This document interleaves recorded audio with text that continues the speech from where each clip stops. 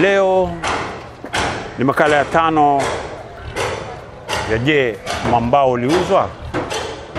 Na nimeonelea nibebe virago vyangu vyote ili nije hapa kwenye shule ya Alidina Visram High School, mahali ambapo pana historia kubwa ya kisiwa hichi cha Mombasa, historia ambayo hata wenyeji wengi hawaijui.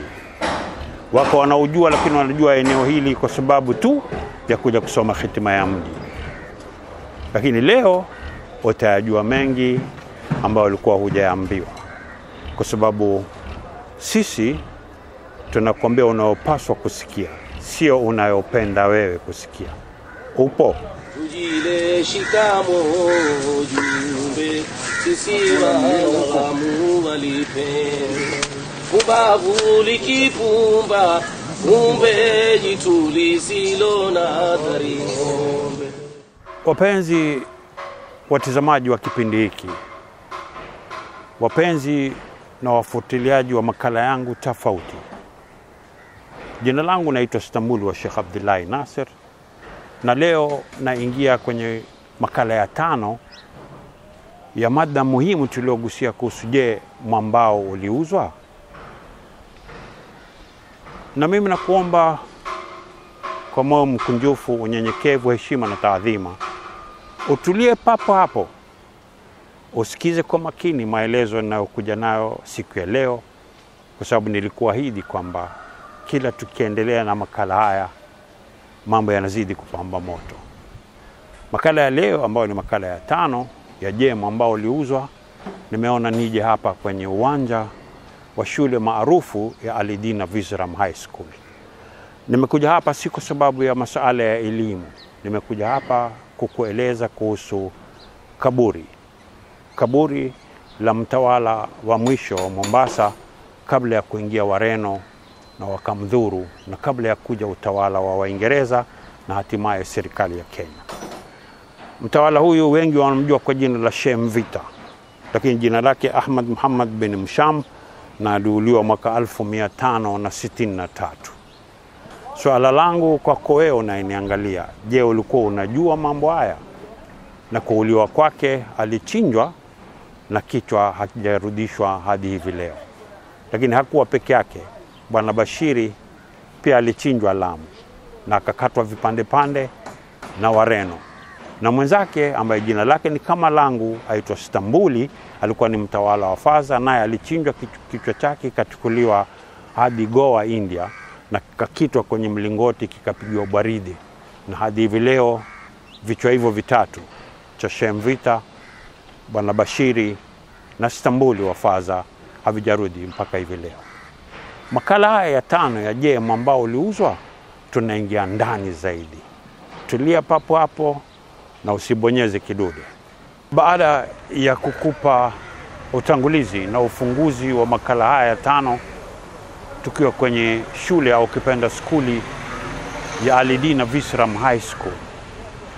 Nimekupa utangulizi na kukueleza kuhusu mmoja wa watu wakubwa sana wa kutambulika ambaye alikuwa ndiye mtawala wa kisiwa hichi cha Mombasa kwa muda mrefu, wenye wamwita Sheikh Mvita. Sasa hivi nimekuja kwenye ngome, ngome ambayo imetuulia wazee wetu na mama zetu, babu zetu na nyanya zetu kwa muda wa miaka mia mbili mfululizo wakati wa utawala wa Portuguese ama ukipenda Wareno. Lakini baada ya muda mrefu, mwaka 1660 wazee wenyeji wakiongozwa na mmoja katika wazee wa kuheshimika zaidi eneo hili miaka hiyo 1660 akijulikana kwa jina la Mwenyinguti wa Mwenye Mwinzagu, waliweza kuunda jopo wakajadili mambo, wakaunda tume iliyotoka hapa mpaka kufika Oman kuomba msaada kwa familia ya Ali Arubi. Ali Arubi ni familia ambayo ilikuwa inatawala sehemu za Oman wakati huo kabla ya utawala wa Al-Busaidi. Walipokwenda kule, wale walikubali na wakaweza kuja kuleta majeshi, wakawasaidia wenyeji kupigana na Waportugiza ama Wareno ukipenda na wakawang'oa Wareno wale kwenye ngome hii ambayo iko nyuma yangu, ngome ya Fort Jesus. Wareno hao lakini unyama waliowafanyia wazee wetu, kama nilivyokueleza kwenye utangulizi, waliweza kuchinja watawala wa Mombasa, Faza na Lamu na kuwakata vichwa, vichwa ambavyo mpaka leo inasikitisha havijarudishwa nchini Kenya, na hakuna anayevizungumza, hata wenyeji ni kama hawajui. Nyuma yangu pana mnara, mnara ambao unaashiria kuna watu pia walikuja hapa na wakaweza kuishi sehemu za Nyali, na palipokuja vita vikuu vya ulimwengu waliweza kuunda jopo na kundi la jeshi ambalo lilihusika na wenyeji na jamii ya Waarabu na wakapigana katika vita vikuu vya ulimwengu. Mnara huu ni katika kuwakumbuka wale wahusika wa vita vikuu hivyo, wakiongozwa na bwana alikuwa akijulikana kama Arthur John Bank Wavel ambaye alikuwa ndio kiongozi wao, commandant na waofisa na watu ambao wa kabila la Waarabu, Arab Rifles, ambao walitoa maisha yao na waweza kulinda usalama wa sehemu hii ya hapa pwani, lakini wengi hawayajui kwa sababu hata shule nchini Kenya mambo haya hayazungumzwi. Kitu nataka kugusia zaidi ni kwamba haya yalitokea hata kabla ya Maumau. Swala la kijingajinga nauliza, kwa nini hayasomeshi shule? Baada ya maelezo yote, naja kwenye ufuo ambao uko kwenye sehemu moja ya kihistoria. Kama unavyoona nyuma yangu ni ngome ya Fort Jesus. Upande wangu wa kushoto kuna Mombasa Club, upande wangu wa kulia ni bahari, lakini ndio mlango wa kuingia Mombasa ya wakati huo tunaozungumza mwaka 1660. Kwa nini nasema hivi? Kwa sababu bandari ilikuwa si Kilindini, bandari ilikuwa Old Port, ambayo wenyeji halisi wa sehemu hii wanaijua kwa jina la Forodhani. Hapo hapo ndipo palipoingilia utawala wa Waingereza baada ya wenyeji kushirikiana na ndugu zao kutoka Oman na kuweza kuwaondoa wa Portugisa ama ukipenda Wareno kwenye eneo hili. Waingereza nao walipokuja mwaka 1824 mpaka 1826, manuari mbili au jahazi mbili za kijeshi ambazo ilikuwa ni HMS Barakuta na HMS Leven, moja ikiongozwa na Captain Vidal na moja ikiongozwa na Captain Owen, na zilitia nanga kwenye forodha hiyo ya zamani Old Port.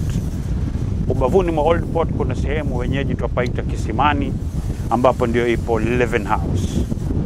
Leven House ambayo hata Ritz, Lieutenant Ritz ndiko alikopandia na kuanza kuishi pale. Lakini swala langu, je, unajua Leven House ilikuwa ni nyumba ya nani?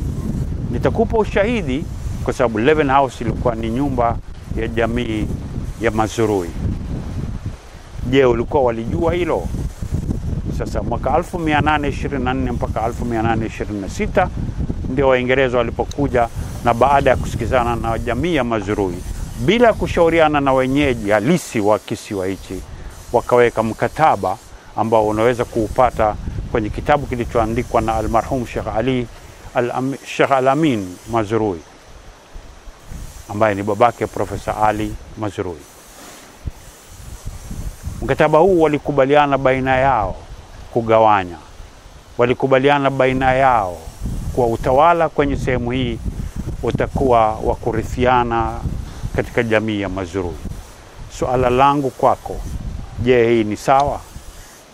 Je, wenyeji nafasi yao ilikuwa iko wapi na nani walifanya haya? Malengo yalikuwa ni nini? Haya nitakuachia wewe kama mtazamaji uyajibu.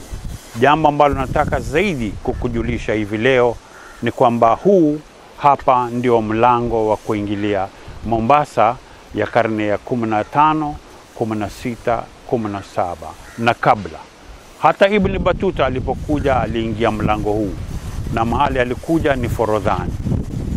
Almasudi, Almakrizi, Alidrisi, wanazuoni wakubwa wa jiografia, wa historia wa bara Arabu walipita mlango huu. Je, inakuwaje wenyeji wa eneo hili kuwa ni watu au raia wa daraja la pili nchini Kenya? Wewe unayeniangalia, unakubali fikra hiyo au unaona ni maonevu? Kumbuka makala ambayo tunazungumza ni je, mwambao uliuzwa? Na makala haya yanakueleza historia ya eneo hili la mwambao, hususan Mombasa, na iwapo ni hivi ninavyokueleza na naweza kuthibitisha, jiulize wewe, ni sawa kuwafanya wenyeji wa eneo hili hivi wanavyofanya? Nani wahusika na mbona hawachukuliwe hatua? Leo, iwapo sijasahau, nitakukumbusha kwa katika makala yaliyopita kadhaa niliwahi kuzungumza na wewe kuhusu kitabu kinachojulikana kwa jina The History of the Mazrui Dynasty of Mombasa. Kitabu hichi kiliandikwa na almarhum Sheikh Al-Amin bin Ali Al-Mazrui ambaye ni babake Profesa Ali Mazrui, na kitabu hichi ndani yake kuna mkataba baina ya Waingereza na jamii ya Mazrui. Katika mkataba huu kuna masharti sita ambapo mawili katika masharti haya ndio ambayo alinishtua sana, na masharti yenyewe ni kuwa moja, watawale Waingereza na Mazrui kwenye eneo hili na wagawanye pato linalopatikana kwenye eneo hili, na suala lililokuweko ni kuwa je, wenyeji walikuwa wapata chao? Suala la pili likawa mamlaka ya utawala yawe ya kurithiwa baina ya jamii ya Mazurui tu. Haya yakanisikitisha, lakini leo nenda hatua moja zaidi na kuonyesha na mkataba ambao wenyeji walikuwa nao baina yao na aliyekuwa Sayyid Said, mtawala wa Omani na Zanzibar. Mikataba hii iko mitatu. Mkataba wa kwanza ni wa mwaka 1832, mkataba wa pili 1835 na mkataba wa tatu 1837. Mikataba hii ni mikataba ambayo ilikuwa ni baina ya wenyeji na jamii ya Albusaidi, mbali na ile ya kwanza niliyokuambia baina ya, wenye, ya Waingereza na jamii ya Mazrui. Haya nayo pia hayafundishwi shule, madrasa hayazungumzwi, halikadhalika misikitini pia yamenyamazwa, aidha kwa kuwa wahusika hawajui ama ni kusudi ili kuwaficha wenyeji ukweli kuhusu haki yao. Leo tunazama ndani zaidi, lakini kumbuka makala ni je, mwambao uliuzwa? Alidina Visram nimekuonyesha katika utangulizi na ufunguzi wa makala haya. Anasemekana ni mtu ametoka Kera, Kach, India na alikuwa ni kiongozi wa wafanyabiashara wa Hindi waliokuja kwenye sehemu hii ya Mombasa na mwambao wa pwani kwa jumla. Pengine ili kukujulisha tu umuhimu na dori aliyocheza Alidina Visra, mchango wake katika jamii ya Mombasa. Alikuwa ni mfanyabiashara ambaye alikuwa ana duka limekabiliana na mlango wa forodha kuu kabla ya Kilindini kujengwa. Forodha ilikuwa ni Old Town, Old Port huyu alikuwa duka lake limeelekeana na mlango wa forodha, na yeye alikuwa ana tabia ya Wahindi wenzake, bila kujali dini, rangi au eneo alilotoka. Akiteremka tu anaweza kwenda kwake ili apewe mkopo, pesa, akopeshwe, afungue biashara kwenye mji huu. Hii sanamu unayoona ni nusu Alidina, lakini mwanzo kabisa sanamu hii ilikuwa mahali panapojulikana kwa jina la Pigot Place. Pigot Place wenyeji sisi twajua pajulikana kwa jina la Alidina Kipande. Alidina Kipande ni kwa sababu ya sanamu hii. Alidina Visram pale ilipojengwa ile skuli, wewe wajua kwamba ilikuwa ni mahali pa kusikiza redio za maadui wanaopigana na Uingereza wakati wa vita vikuu kabla ya kujengwa skuli. Na je, unajua skuli ilijengwa lini na nani alijenga? Kwa sababu ya mzee huyo Alidina Visram. Mwanawe Alidina Visram ndio alijenga skuli ile, lakini nitakueleza muda mfupi ujao. Kwa nini nimekuja hapa kukueleza kuhusu Alidina? Kwa sababu sessional paper number 10 ya 1965 iliandikwa na kina Tom Mboya, ilileta uafrika wa kipofupofu nchini Kenya ikawa mambo yote mchango wote wa Wahindi Goa, Shelisheli, Waarabu na wengine wengi kutoka nchi tofauti, ghuba la Uajemi na bara Arabu walitengwa kwenye masuala ya kikazi na kila kitu. Wale walikuwa wakifanya kazi kwenye idara tofauti za serikali walilazimishwa kustaafu, na baadhi yao wakawa hata marupurupu yao hawakupata. Leo wengi katika watu wa jamii ya Wahindi hata wakitaka kuchukua uraia Kenya, na wao ni raia wamezaliwa nchini Kenya kabla ya uhuru, bado wanapata tabu, wanasumbuliwa, wanakwenda juu na chini, na ushahidi ni nao mimi. Kwa nini iwe hivi? Waafrika wa kipofupofu. Je, nikikombea kwamba kuna baadhi ya Waafrika ambao walikuwa wa Kenya 1926 kwa sababu kabla ya hapo walikuwa wao ni Waganda, na kuna baadhi ya Wahindi ambao Vasco da Gama akija aliwakuta. Je, unaona ni sawa kuwafanya Wahindi kama ni watu hawana haki nchini Kenya? Litafakari hili na uliangalie. Sisi wenyeji wa sehemu hii ya mwambao wa pwani, wakiwemo Waswahili, Mijikenda na wenzao wengi, ni watu ambao tulikuwa na mikataba sisi na huyo sultani. Nimekombea tuna mkataba mwaka 1832, 1835, 1837 na mikataba hii yote ilikuwa inakubali haki za wenyeji halisi wa eneo hili la mwambao wa pwani, hususan jamii ya Waswahili ambao ndio waliokiana mikataba hiyo na sultani.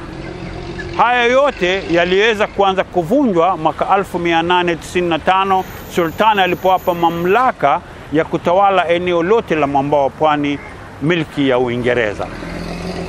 Mkataba wenyewe ni tarehe 14 Disemba mwaka 1895. Je, baada ya hapo alafu ilikuwa vipi? Je, ilikuwaje watu wakaweza kugeukwa?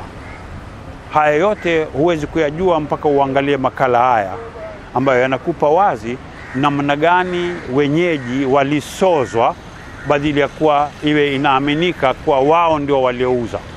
Ni urongo, na wengi wanaosema mwambao uliuzwa ni watu ambao wanawadanganya nyinyi waangaliaji video zao na wasikilizaji. Tafadhali muulize anayekombea mwambao uliuzwa akupe ushahidi wa namna ulivyouzwa, si mambo ya babu yangu aliniambia. Nimesikia wengi wanasema baba zao alikuwako London. Suala ni London, kila mtu anakwenda mkutanoni. Alikuwako babangu, alikuwa kwa mkutanoni, na ushahidi wangu ni huu.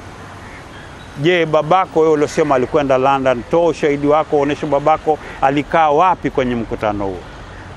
Hivi ndivyo ambavyo tunatoa ushahidi wa iwapo mwambao uliuzwa au ulisozwa, na kwenye makala haya tunakupa kama ipasavyo kuelezwa, na hatuelezi tu kama unavyoona, tunatoa ushahidi wa kuaminika.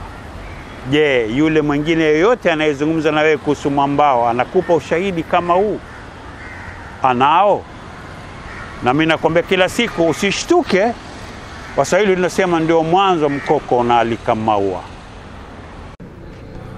Na ili nikurahisishie kuelewa matukio yaliyokuweko kabla ya kuitwa watu kwenda kujadili kuhusu mustakbal au ukipenda maisha ya siku za baadaye, iwapo Kenya itapewa uhuru, ni muhimu sana nikupitishe kwenye kuelewa haya yaliyotukia. Hili unaloliona hapa kwenye skrini yako au kwenye kioo chako ni ripoti ya gazeti rasmi la nchi ya Kenya kabla ya kupata uhuru mwaka 1960 tarehe 25 mwezi wa pili, yani Februari. Ripoti hii ni kuhusu mkutano uliokuwa umeitishwa na wale waliokuwa na mamlaka kwa niaba ya milki ya Uingereza. Mkutano ulikuwa unajadili namna gani wataweza kutoa uhuru wa koloni yao ya Kenya, na je, iwapo tutawapa koloni uhuru, kuna kipande ambacho ni himaya au kipenda protectorate, tutafanya vipi? Katika ilani hii ya gazeti rasmi la serikali ya kikoloni ya Kenya kunaelezwa namna ya wajumbe walivyokuwako. Kulikuwa wajumbe wa kuchaguliwa na kulikuwa na wajumbe rasmi wa kuteuliwa tu wa jamii tofauti, na hapa utaona orodha yao na idadi yao walikuwa wangapi. Baada ya kuona haya, utakujaona mambo walioshauriana watu wale waliokuwa kwenye mamlaka ya kutawala kwa niaba ya koloni ya Uingereza na himaya iliyokuwa ya sultani. Je, tuaweza kwenda ndani nukaelewa vizuri zaidi haya yalitukia kwa sababu gani? Na je, wale walioalikwa ilikuwa yaalikwa tu kama kualika harusi au yaalikwa watu maalum tu? Wengine wote wakenda watakoenda kujifurahisha roho zao, hawahusiani kamwe na mkutano uliokuweko kujadili kuhusu mustakbal wa mwambao wa pwani. Haya yote yanakujia kwa sababu tunajali maslahi yako. Haya yote yanakujia kwa sababu tunataka kukutaarifisha ili uweze kuelewa ukweli wa mambo ulivyokuwa. Tuate stori za maskani na stori za barazani. Napenda wewe unaangalia na kunisikiza ujue kwamba haya ni mambo muhimu na ni mambo ambayo yanakera watu wengi. Kwa hivyo anayetaka kuzungumza, kwanza awe si mtu wa kupiga kifua pili awe si mtu ambaye anazungumza akiwa ana chuki na mtu yoyote aidha kwa dini kabila rangi au eneo mtu alilotoka. Tatu unapaswa kuzungumza ukiwa unajua kwamba mwenyezi mungu na malaika wake ni shahidi. Kwa hivyo ujue utaweza kuzungumza haki na utasema kweli na vitu viwili hivyo haki na kweli ni vitu ambavyo vinatakana viwe na msingi na nguzo za ushahidi ushahidi kamili na wa kuaminika ili pande zote husika wakione wajue na huyu mtu azungumza maneno ambayo ayajua. Mambo ya kimaskani na yanaweza kusababisha madhara makubwa na hayafai wakati huu wa karne ya ishirini na moja. Kumbuka kwamba kweli na haki huwa hazizami zinaolea